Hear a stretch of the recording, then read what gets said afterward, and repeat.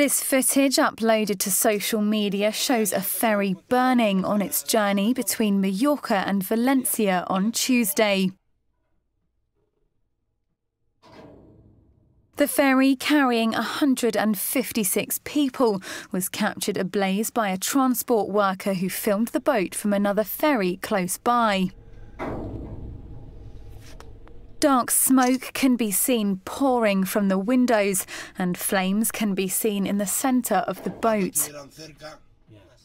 Emergency services have rescued all 156 people on board.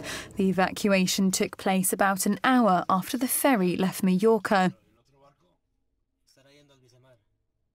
Operator Acciona said in a statement on Tuesday that the cause of the fire was yet to be established.